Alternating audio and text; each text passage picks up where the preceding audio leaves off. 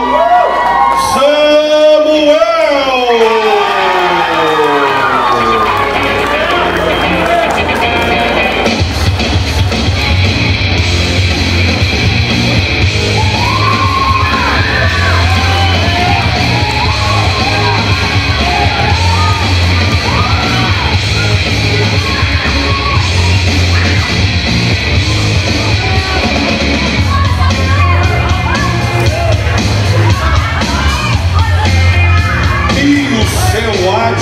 adversário do corner azul, representando a academia Pai Lobo,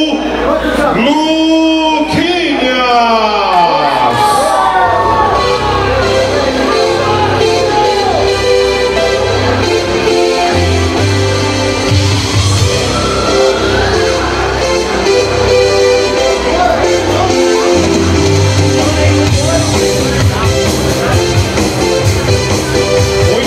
Senhoras e senhores.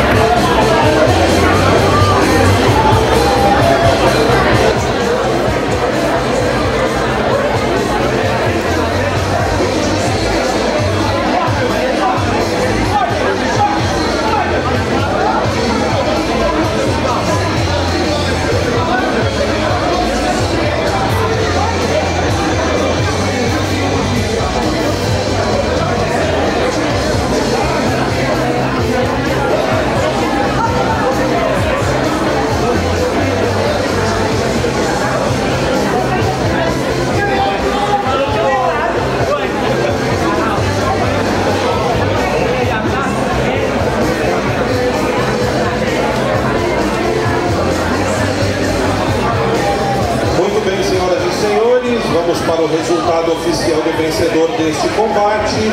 O árbitro, professor Coruja, interrompeu a luta 1 minuto e 27 segundos do segundo round, sendo assim, vitória do córner azul. Luquinha!